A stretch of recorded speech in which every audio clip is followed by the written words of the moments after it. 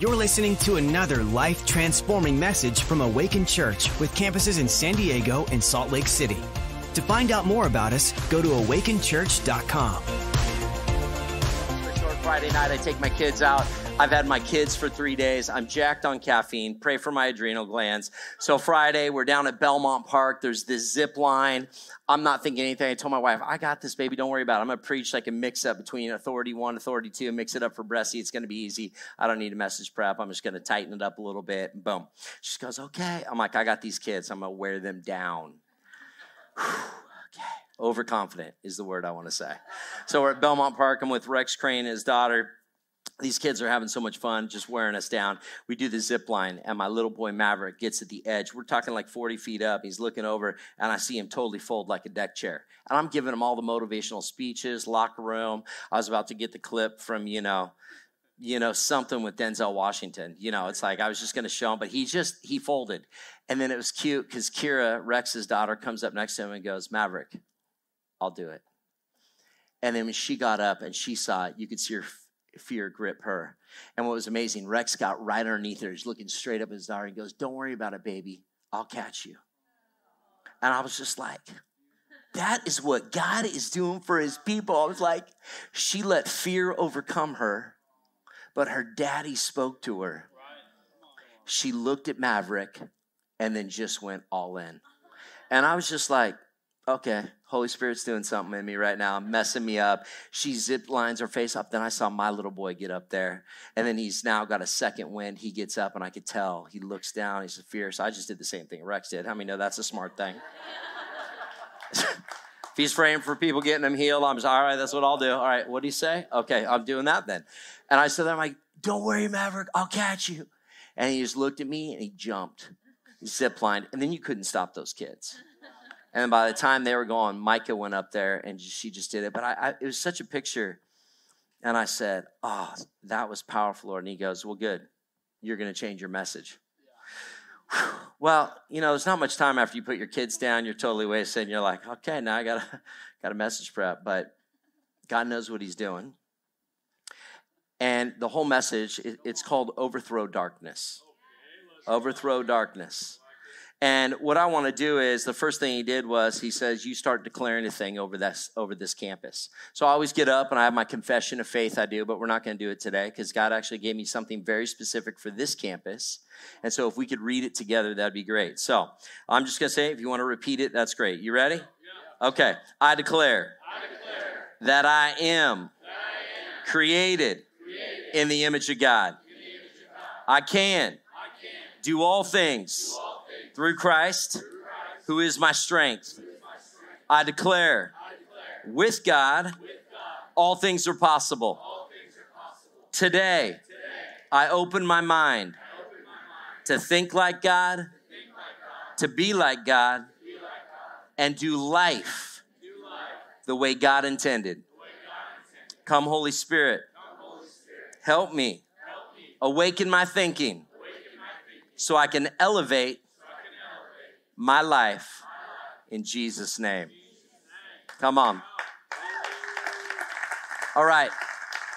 So we're going to go fast here, but I want to I want to give you some things that got me tweaked uh, this week. I read this Barna study, and in this Barna study, it was talking about what fear has done uh, in the church uh, over the last two years. And so I was reading this. I'm like, there is no way Awaken Church is in that study because those results will fire anybody up. They're saying that there is no difference between what people in the world were experiencing and those in the church. They started going through all the studies, and I don't want to depress you, but it was just like, well, I thought we were called to be the salt. Where's the lick test? The salt and the light. Yet this study was just saying the same things that were up 3,000% mental health disorders in the, in, in, in the secular world same in the church.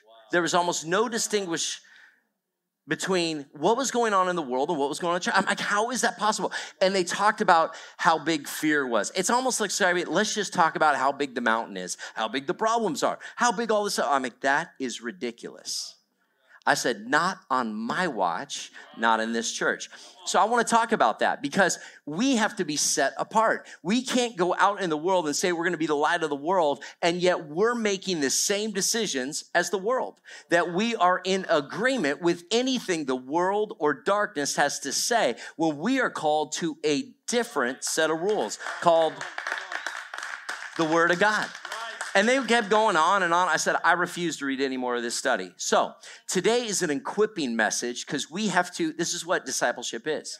It's one thing to give your life to Jesus. Like, I don't even talk when people go, see, in my field, it's amazing. In, in, in chiropractic, they go, oh, how many people did you see? And you know what my response is all the time? Not enough. To really tick them off, you know, because it's almost like this ego contest. How many people did you see? Blah, blah, blah. And what I really love is when they say it, I said, oh, I think I saw like, I don't know, 40, 50,000 this week. They look at me, just freak out. I'm like, yeah, on the, way, on the freeway, past a lot. I was at church on Sunday. Then I, I mean, I went to the mall. There was a ton of people. We went to UTC, people everywhere, probably like 40, 50,000. They're like, you know what I mean? I'm like, you know what I mean.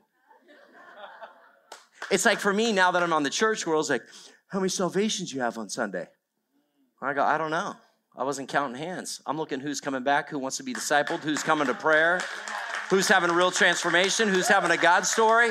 Who's living radical for Jesus? Jesus does the saving. This, we, right here. You know what we do? The discipling. And every one of you are discipling somebody. And they're either moving closer to Jesus or further away due to your skill set on discipleship. See, before I was saved, I was taking them downtown. I was a disciple for some really good clubs downtown. That was not kingdom. But when kingdom got me, how many know that my discipleship changed? We all disciple somebody. If you're an entrepreneur, you're discipling somebody. If you're an owner of a company, guess what? You have employees. You're discipling somebody. Everything you do matters. And how many know there's a kingdom way to do it? How many know that when you're in alignment with kingdom, things are going to go in a certain order? This is what I want to talk about today. So let me read you this study real quick. I'm going to tell you that there's a real study with real science, with real research. And then I want to tell you what the kingdom says about what we're going to do. You guys with me today? You going to pick up what I'm putting down? Okay, some of you look ready to go. Okay. I mean, I just give me another caffeine pill. Let's go. I should not do that.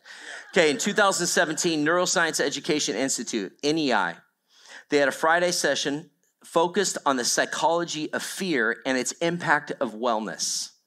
Okay, this is what they, they found out. It said fear is a feeling that is internal and conscious. This is Dr. Uh, Moeller, and she has more initials. I mean, it, takes up an entire paragraph of initials at the Pacific uh, Lutheran University School of Nursing, the director of psychiatric services and integrated health. And what was interesting, it says it arises when sensory systems in the brain that have determined in your amygdala that an external stimulus poses a threat, outputs of threat detection circuits get triggered, and a general increase in brain arousal can result in altered threat processing, mainly fear and anxiety disorders. Here's what it goes on to say there's three general adaptation syndromes. Number one, there's an alarm. That's the first reaction to stress. It recognizes there's a danger and your whole chemistry in your body changes. Number two, you build resistance. Homeostasis begins restoring balance and a period of recovery for repair and renewal takes place even after the initial stress. Stress hormones may return to normal, but there may be reduced defenses and no adaptive energy left. Number three state of affairs is exhaustion. At this phase, the stress has continued for some time. The body's ability to resist is lost because its adaptation energy supply is gone. This is often referred to as overload, burnout, adrenal fatigue, maladaptation, or dysfunction. Alterations in the nervous system can cause several conditions such as chronic pain, fibromyalgia, and insulin resistance. Diabetes is skyrocketing right now in and outside the church. Disease is skyrocketing right now. Now, why am I telling you this? I want you to hear some of the overall health concerns, and I need you to take inventory right now because how has stress been affecting you? Because you don't need to tell me. I read the study that Barna says 3,000% increase, whether it's inside or outside the church. But we need to be set apart. So, what as a church are we going to do about it? I'm going to tell you. I'm going to tell you about it. The number one, they say overall health, immune dysfunction, immune system dysfunction, endocrine system dysfunction, autonomic nervous system alterations, sleep wake cycle disruption, eating disorders, hypothalamus pituitary adrenal axis disorders. I've seen all this in my practice. The potential side effects of chronic fear on physical health. Number one, chronic pain, difficulty breathing, turning into asthma. Emotional health, disassociation from self, unable to have loving feelings, learned helplessness, anxiety, mood swings, obsessive compulsive thoughts and disorders. Let's ask Robin, who has to deal with this all the time. Let's ask some of the other caregivers in this place. Have they noticed any of that? That's just physical health. What about emotional health? I just said some of the things. How about environmental health? Continued living in fear, generating situations due to uncertainty of moving, not able to find safe housing, afraid to leave your home due to paranoia. Now, chronic fear, how does it affect our spiritual health? This is what I'm seeing right here. I have a practical office where I take care of a lot of people during the week, but this is what I'm seeing from pastoral care. We've never had our pastoral care team so stretched ever in the history of Awaken Church. Thank God for every single one of you on our pastoral care team. My heart goes, we pray for you all the time.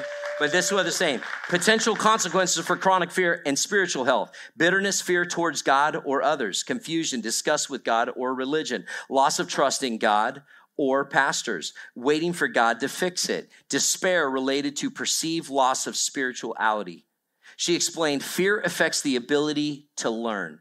This is why people are they're overwhelmed with everything. Listen to this.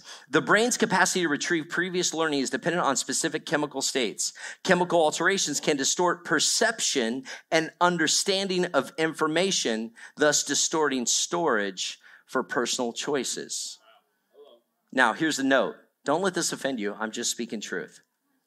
If I know this, and I know this study and I'm trying to equip you for good. Is it possible that men in power of influence and evil could distort it for manipulating you? They know what fear does emotionally, physically, spiritually.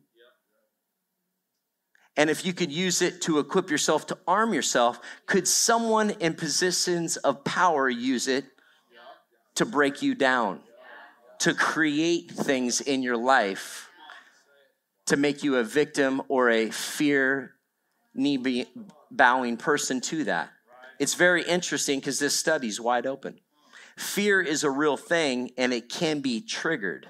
My job as a pastor is to shepherd the sheep, to look after the flock, to equip you with reminding you of who God says you are. I want to put up my slide because I want to see you're the number one pharmacy ever created. Everything in you can be produced. We have lots of medical doctors in our church, and I'm friends with 90% of them. The 10% that don't like me, they'll learn to like me. But look right here happiness chemicals and how to get them. I want you to look at this one on oxytocin, the love hormone. Socializing, huh? What have they done to that? Physical touch, what did they do to that? Petting animals, helping others. Well, we couldn't go to church, we couldn't help others. Uh, physical touch was shut down, socialism. How long could someone sustain and start losing oxytocin and losing love for their life, love for others? Physical abuse went up, divorce went up. I mean, so many things, all because of that. Look at dopamine, the reward chemical. It's amazing. All these chemicals, endorphins, serotonin, all these things being manipulated if you don't do the right thing. See, there's a lot of things in our own strength. See, I don't want to play the God card all the time. See, I want to help people because listen, you can come up on the altar, get prayed for, and get healed of diabetes immediately. But if you don't make some lifestyle changes, how many times are you going to come down to the altar? God's up there saying, ah, Come on, boy. Come on, daughter, I got you. We got to be proactive on our stuff so we don't let our mind get out of balance. So if our mind got out of balance, we can get it back in balance. It's just how hard do we want to go after it? So I just want to tell you, they, they did this other study just real quick on uh, the Christian life. and they said that this is in Christians, they tell us we were all born with two fears the fear of uh, falling and the fear of noise. You kids startle when they're a baby. Anyways, they did this. Um, this test by the time you're 21 years old they asked 500 students to list off what are you afraid of they listed over 7000 fears if you don't think the enemy works overtime to create a spirit of fear and then what happens is the more you talk about it the more you start getting an amen from other people next thing you know you have a connect group of fear people that's why my favorite word is cancel just to pattern interrupt not to be rude, I'll just like someone will be talking about, but cancel. I refuse to receive that. And then it usually rattles them because they are so programmed, they don't even know they said it. But that's why we have to renew our mind and take it serious. So I want to help us today. What do we do? Because how many of you agree we're made in the image and likeness of the Almighty God? The Creator, the Imago Dei. Like this is the how do we get there? Because I'm not seeing in that study, the Barna study, that the Christians are set apart more than the rest of the world. This is what we got to do. I'm going to give you five quick points. You ready? Here we go. Number one, be realistic. Your fear habit is ingrained by the way you think, feel, and act, and it takes time to change. God can heal you in a moment. Go to prayer, go to men's prayer, go to women's prayer. God can do something in a moment. Then what are we going to do with the habits that we've created? We're a new creation. Let's step into that new creation. I mean, it was beautiful to see that communion message. I can't wait till Ryan's looking at his beautiful bride later and he's gonna know. I have no idea what he's she said because he's going, yeah, baby, amen, amen. I mean, I love the fact he was recording it, but he, he's gonna hear his own voice. I mean, that's how a husband should be, shouting down his wife who's up here crushing a communion message. And I think a year ago, he didn't have a house or a bride. I mean, God can do anything. That's amazing. He needs to share his God story every single day. God gives seed to the sower. Do you want more seed? Then keep sowing those God stories. I mean, that's what the news does. They're sowing seeds every day. And you're sitting there like, feed me, feed me. We need the good stuff, the God stories. What God's what is God doing in your life? If not, go grab onto somebody's God story and don't let it go till you get your own. Do you know how many people I've seen get radical God stories that I just rode their coattails until I got a couple of my own? And then I ain't stopping. So I keep sharing them. We got to do that. But number one is be realistic, be persistent. If you hit a snag, don't beat yourself up. If you miss men's prayer, just get up and go next time. If you miss church, do it again. If you slip up, don't beat yourself up. Call somebody, say, I need you to pray for me. I messed up today. I did this. Just be realistic. Don't set an expectation so high that you keep beating yourself up because God's not. He's got grace for you, He's got love for you. Number two is do the basics. First of all, get enough sleep, eat good food, drink enough water, avoid caffeine. Just I know I got to work on that one. It was a rough weekend. Avoid alcohol, exercise regularly. These are the things that help your brain get back into balance. And I just want to talk about what you can do. When you move, God moves. He's not a genie in the bottle. This one guy, it was like, man, dude, we've prayed for your low back pain 10 times. Can you lose 100 pounds? My daughter asked if you're pregnant. You're a dude. That's impossible. Can you just lose the gut? I'm just saying, like, Oh, I, I didn't want to say that to him. I wanted to be nice. Okay, so if he had a heart attack, then what are you going to say? See, Pastor Jurgen's like, dude, we're getting everyone on our team. We're going to have a staff meeting. We're going to talk about what health looks like, what good BMI looks like, everything. Sure, I want God to heal them, but guess what? It's our responsibility. Listen, if I'm shepherding their soul, their physical body comes with it. It's now time as shepherds that we hold our team to a certain level. I love that our pastor's willing to go there. He doesn't want anyone because of stress. You know it's a little stressful running a church? All the teams and the ministries and the finance and everything that goes on is stressful. And yet our cortisol goes through the roof. Our health will go to emotional eating, whatever it may be. We got to set the standard for our team so then we can help our church. We're about to switch a gear, knowing what stress levels we've been under for the last two years. It's now time that we're going to pour into our own team. You're going to see a shift in anybody on staff because we care about those people that are building the kingdom. That's why we're talking about this. Number three, renew your mind. Get rid of all negative, trashy, ungodly inputs. I don't care if it's music, television, news programs, the internet, video games, reading materials. I don't, I don't care what it is. I didn't realize even how important this was. I was on Lake Powell for 10 days, and after two days of no like social media, we had no electronic. It was like, and I felt a little like, ooh, ooh, I gotta, I gotta. And I felt God just say, just be with me. It's amazing how I got so compartmentalized. I thought my 15, 30, 45 minute prayer time, my devotional was good enough. No. It's amazing. He just wanted to hang out with me. But it's amazing. The kids we were with, my friend's kids, they were losing their mind for the first two to three days. They were different kids by day seven, totally different, playing on the beach, doing the radical thing. It was like, and my buddy goes, Whoa, I didn't realize the effect that their iPads had on them. Dopamine, dopamine, dopamine, dopamine, dopamine, dopamine it changes the way we think. So we got to renew our mind. How do we do it? We pray. Let's get biblical. You ready? Philippians 4.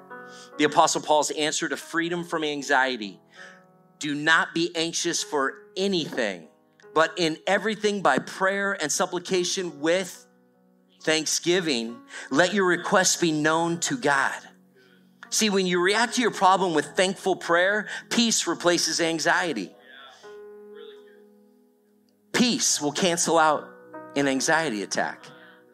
But we got to know how to pray. Prayer becomes your habit. You'll experience peace time after time. Thankfulness becomes a habit. The more thankful, the more doubt dissipates. Remember this God promises not to allow anything to happen to you that you cannot bear. But some people are willing to take their life. 1 Corinthians 10 13 says this No temptation has overtaken you that is not common to man. God is faithful and he will not let you be tempted beyond your ability. But with the temptation, he will also provide the way to escape that you may be able to endure it. We're not folding like a deck chair Awaken Church.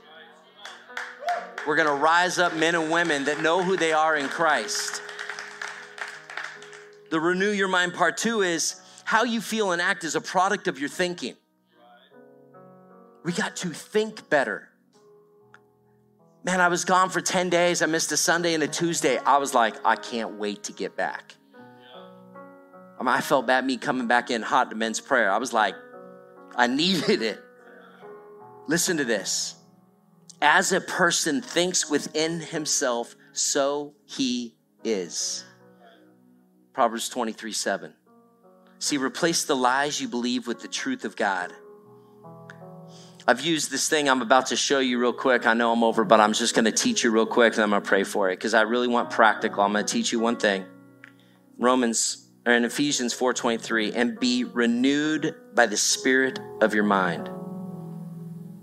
In Romans 12, 2, it says, Do not be conformed to this world, but be transformed by the renewal of your mind, that by testing you may discern what is the will of God. By what? As Christians, I need you to test what you're thinking. We, we have to do this in order to break the habits of the world of fear, of the enemy. You got to remember, we're, we're contending with the flesh, with the world, and with the devil. If you're not in the Word of God, what are you using to contend with?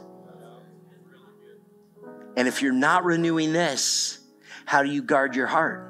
It says, above all else, but if you're not knowing the Word of God to renew your mind, your mind is what guards your thought. If you let one of those thoughts keep going, next thing you know, your heart hurts. If someone sent you a nasty letter or said something about you, and you put an amen to it or agreed with them, your heart gets hurt. God's saying, above all else, guard your heart. You got to do it by renewing this. No, I'm not what she said about me. I'm a new creation in Christ. No, no, no. That's not who I be. Listen, here's a, this is a simple tool that can help you. I need you, it's a little chart. I have it right here, and I'm gonna text it out. So it's overthrow to 94090. Might not be up yet because I gave it to him at four in the morning. It's unfair for my team, okay? Let me at least give me till Monday. But I literally woke up and said, I got to change what I'm preaching on. I need to give them something practical they can do. It's this little chart right here. You're going to get this. It's a little chart. People listening online, calm down. Just text the thing.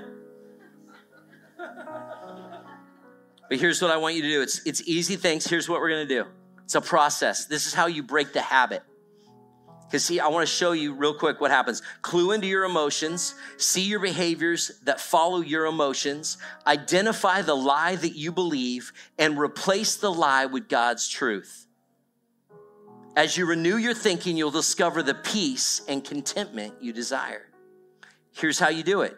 So I want you to, I'm going to give you a real thing. It's the lie, grab the emotion, look at the behavior.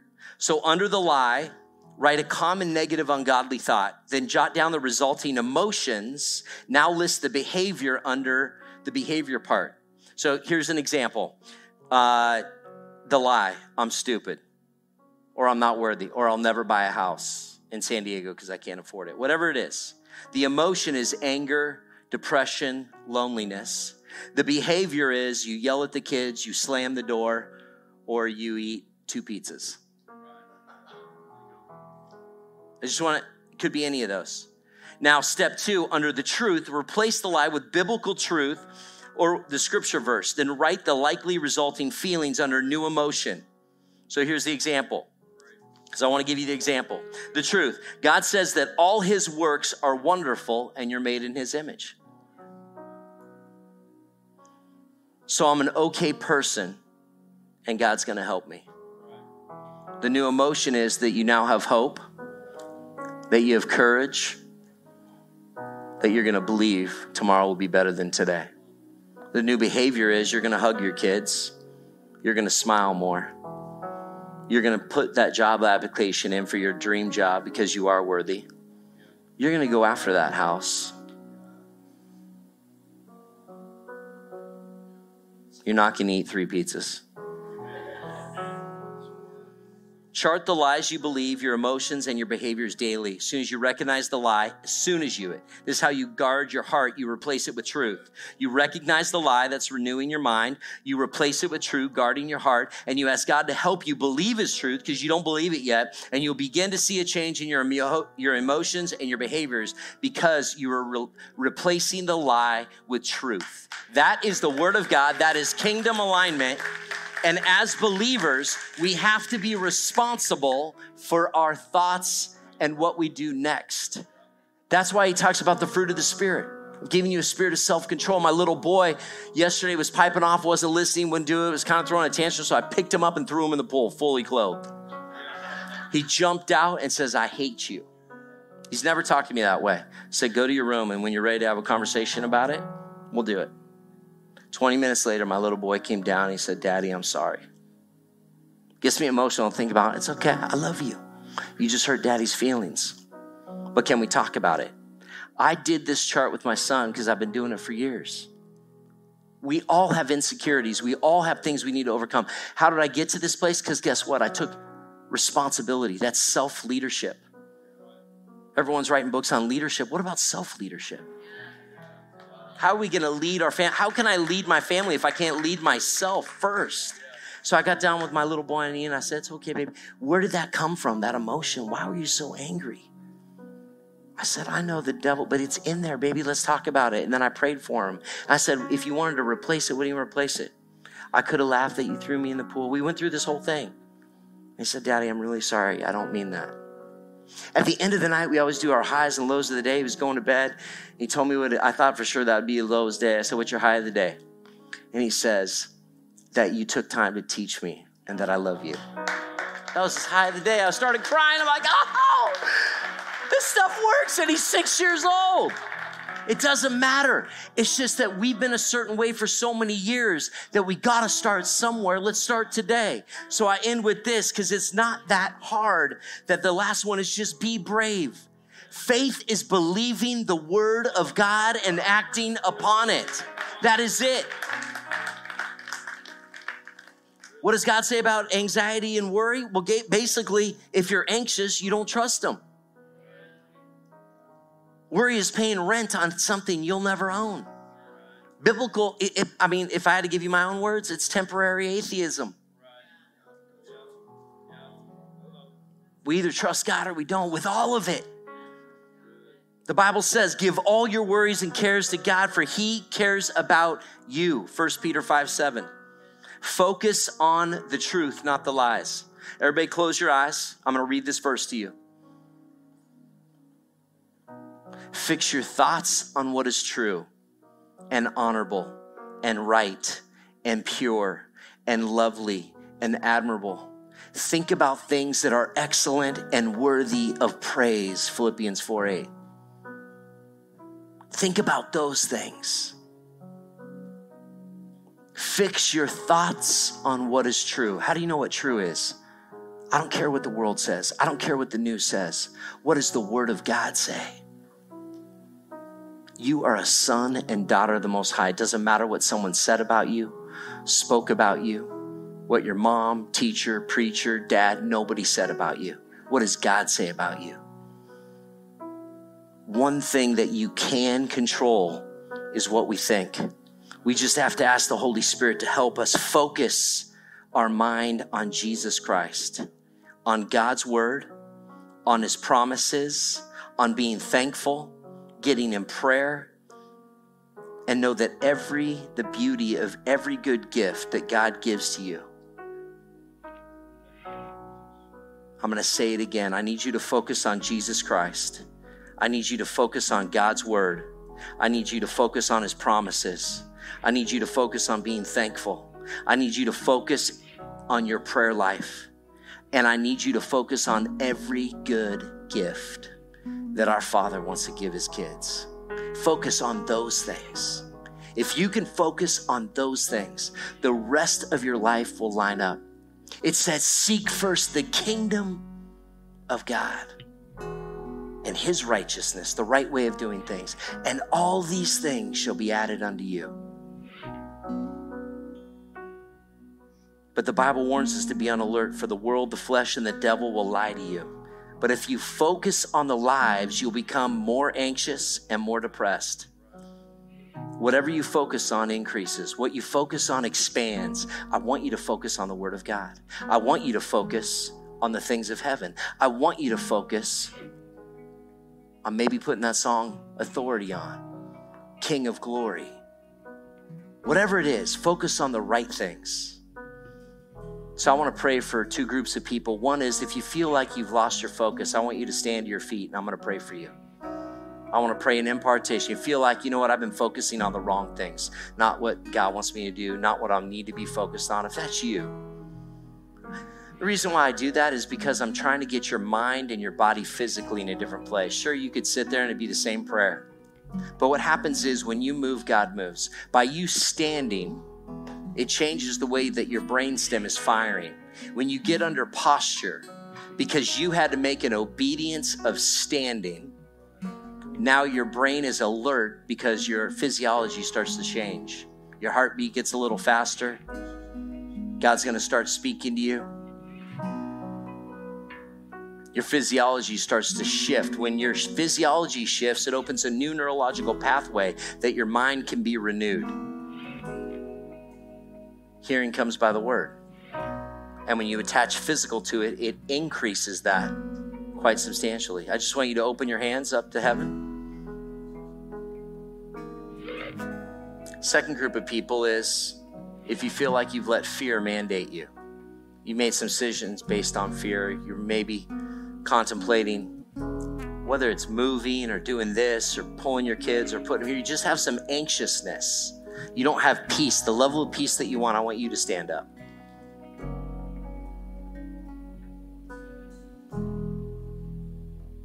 I'm waiting because you know what? The devil works overtime and we can get stubborn. We let our ego get in the way. You know what ego stands for? Edging God out. I feel like you got to shove it to the devil and stand whether you like it or not. It's a step of faith, I know. I'm just feeling it in my spirit. There's, there's a tug of war right now with some people that know, like, I, am not going to say, I'm, but you know what? You got to get breakthrough and shove it to the devil. I, this is where I get righteously angry because the devil works overtime to whisper lies in your ear and you know you want to stand and now you're getting irritated. You might even manifest on me, and that's okay. I got a deliverance team ready to go. You're worth it. You're worth it. And when I start praying, if you feel that, that release come, you stand to your feet. Because I can see God sending angels right now to help you. There's a battle in your mind. And it's not you. It is not you. The devil is yelling in your ear. It is not you but I refuse to let you be intimidated right now by the enemy. Heavenly Father, God, I thank you right now for the men and women standing in faith right now. God, I thank you, Lord, that you're renewing their mind in the name of Jesus.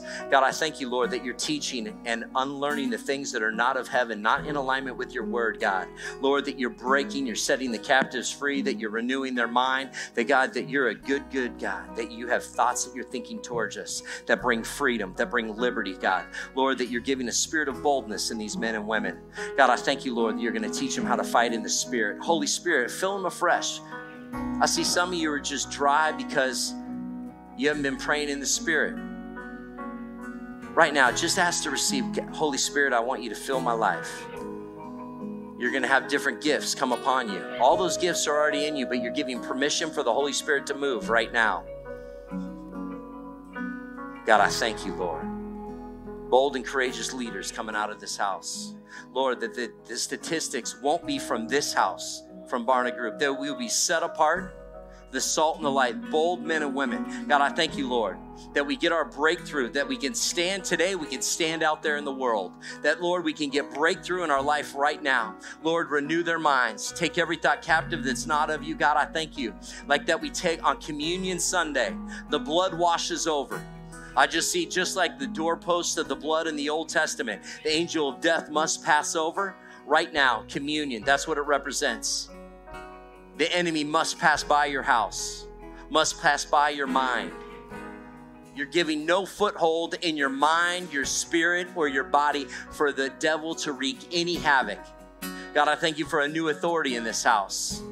I thank you for a new boldness in this house. I thank you for supernatural healing right now right now, Lord, that they will take those thoughts captive. God, that they will renew those behaviors that aren't healthy and they will be set free in the name of Jesus. Everybody said, Amen. Listen,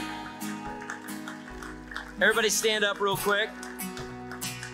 I'm going to bring Pastor Samuel up here just to close this out. But I want to say one thing. If you've never given your life to Jesus, none of this matters. That's the only thing that matters because eternity is on the line. I didn't read it, but I'm going to just tell you this verse real quick so you understand it. In James 4:14, why you do not even know what tomorrow will happen. What is your life? You are a mist that appears for a little while and then it vanishes. That's James 4:14. Life is short. We never know what tomorrow is going to bring. I know a mom that just out of obedience did what she had to do in Seattle, 37 years old. And within two days, her life was gone. She leaves behind a three and a five year old doing what she thought was the right thing to do. You never know. Our life's like a vanish. We all need Jesus. Jesus is the only way, He's the truth and the life. If you've never given your heart to Jesus, I'm just going to tell you this. I'm not going to baby feed you because guess what? I want to raise up lions up in here. I want to raise up lionesses. Here's what you do it's this simple. It's just this simple. You don't need a pastor to lead you through. You don't need to just say, Jesus, I need you in my heart. See, God sent his son because there's sin everywhere. We all fall short. That's what the Bible says. We all fall short. So, no matter what you do, you can't earn your way to heaven. There is a heaven, there is a hell. Hell was not created for you and me. But the crazy thing is, there's only one way to heaven and that's the truth. And the truth is Jesus. And we got to know the truth, and the truth will set you. And see, that's how good God is that He gave every one of us in this room a free will. It's not about how good we are, it's not how many religions. He doesn't want, he didn't send Jesus to start another religion. All he did was, I'm sending my son to die on a cross for you and I. He took all our sins. He was buried for three days. And then guess what? He's the only prophet that ever came up out of the ground, and he sits at the right hand of God. He's alive today. Resurrection power. And he did that for you and I, took all our sin because we couldn't handle it. And the reason I tell you that is you just have to say that Jesus, I need you in my heart. Forgive me of my sins. I want to spend the rest of my life in eternity. It's the only insurance policy I say you all need. And I like insurance policies. But that's the most important one. Because eternity is a lot longer than a mist or a vapor. It's eternity. And then people say, well, what about this? What about, listen, Jesus will teach you all that. You know what our job is to do? Jesus does the saving, our job is to disciple you. Don't worry. Let's just make sure we have lots of time. Pastor Samuel loves good food. Invite him out to dinner, cook for him. Invite him to your house, whatever you want to do. But here's what I'm going to tell you. He wrote a book called Following Jesus. Someone around here has a Bible and a book? Maybe. If not, Tiger will help you. Oh, there's Bruce right there. Good looking chap with a nice mustache. He's got a Bible we want to give you. We have a whole response team that wants to pray for you. He has a book called Following Jesus that Pastor Samuel wrote. You guys are so benefited. There's, I didn't write a book. He can even probably sign it for you. But listen, it's just the Cliff Note versions of where to start. So I just tell you this that making that decision is the most important. Jesus in my heart, forgive me of my sins, enter it, let the rest of my life be the best of my life. Now show me the way. Then coming back, we'll get you plugged in, we'll disciple you, we'll get you baptized. Was like this go down the far down the rabbit hole as you want to go, but it all starts with Jesus. Everything else, it doesn't matter. We'll get there. Don't rush it, don't worry about it. But we love you. We're glad you found us. If you don't go to our church, we'll find you a church. You need to, watch us online till we find you the right church that's preaching the gospel, which is freedom which is liberty, which is life. And be coachable. If you want the rest of your life to be the best of your life, be coachable. God's gonna do radical things if you can believe. You know that song we sang? That miracle, wonder working God? Do you know most churches can't even sing that song? That's the sad part. It grieves my spirit. But we can. We see miracles because you know what we do? We don't put God in the box around here. We want God to do such radical things that we don't even know how to explain it. And as a pastor, that can be like scary. But I want someone to get totally resurrection healed, set free. I need people to go like, do you know who you had in your pulpit that like six months ago they had full addiction? Well, so what? Look at the fruit of their life now. Why are you trying to put a ceiling over their life? Where were you before you met Jesus? Listen, I want everybody. Our doors are always open. We don't discriminate. I don't about, care about color. I don't care about poverty. We will break that off. I want to see people to see blessed and flourished and thriving. And I want not one seat empty in this house. And you know how you do it? Because you live such an epic life that people want to know what is up with you. And they go, Come and hear the word of God. This is liberty and life. And they will get an injection of faith, and you won't be able to contain this building. We'll have to find one in Oceanside. We'll have to find one in Escondido. We'll have to find one in Temecula where communion is really good.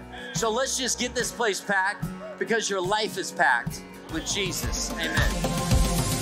Thanks for listening. To find out more about our locations, team, and what we do here at Awaken Church, go to awakenchurch.com.